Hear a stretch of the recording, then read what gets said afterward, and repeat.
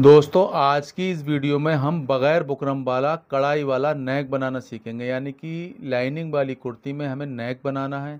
बिल्कुल फिनिशिंग के संग, एकदम बिल्कुल बराबर से हम नेक बनाएँगे और इसको बड़ी आसानी से बनाना है केवल एक से दो सिलाई में। तो वीडियो को देर ना करते हुए वीडियो को शुरू करते हैं। तो दोस्तों, यहाँ पर सबसे पहले हमें इस तरीके से एक अपना सामना और नीचे लाइनिंग लेना होगी, यानी कि अस्तर। उसको बीच में हमने देखो सिलाई पहले से लगा ली है। अब सिलाई लगाने के बाद में यहाँ पर हम कढ़ाई के बिल्कुल बराबर बराबर सिलाई लगाएँगे इस तरीके से। ये देखिए। इस तरीके से हमें सिलाई लगाना है। इसमें देखो मोती है ना तो हमें आप चाहें तो इसमें सिंगल पैर का भी यूज़ कर सकते हैं। अगर आप सिंगल पैर आपके पास नहीं है तो आप देखो मैं डबल पैर से इसका इस्तेमाल कर रहा हूँ तो डबल पैर भी आप इसका इस्तेमाल कर कर सकते हैं मशीन का। तो मैंने यहाँ पर देखो सिलाई लगा दी। सिलाई लगाने के बाद में अब मैं यहाँ पर इसका जो एक्स्ट्रा मार्जिन है, यानी कि एक पैर का मार्जिन छोड़ते हुए बाकी का सारा मार्जिन कटिंग कर लूँगा इस तरीके से।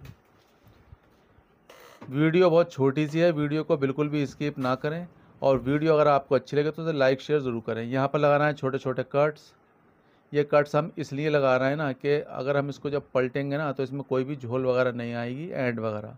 ये हमने कट लगा लिए हैं। कट लगाने के बाद में हमें इस तरीके से इसको पलटना है।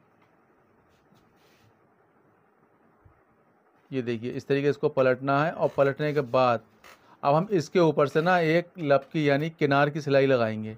तो सिलाई किस तरीके से लगाना है, यहाँ से स्टार्ट करेंगे। और बिल्कुल किनार किनार यहाँ पर सिलाई लगाएँगे, ठीक है? इसमें मोती हैं, मोती को बचाते हुए हमें लगाना है, इससे सुई ना टूटे हमारी। अगर ये देखो, इसमें हम सिंगल बूट का इस्तेमाल करते ना तो बहुत जल्दी भी लगा सकते थे। तो यहाँ पर देखो, हमने सिलाई लगा दी है। ये देखो, यहाँ तक आ गई। उसके बाद में, अब हमें कंधे वाली सिलाई लगाना है इस तरीके से, क्योंकि लाइनिंग है। अब हम पूरी लाइनिंग में यहाँ पर सिलाई लगा लेंगे। उसके बाद दिखाते हैं फाइनल लुक। तो देखिए, ये है हमारा फाइनल लुक।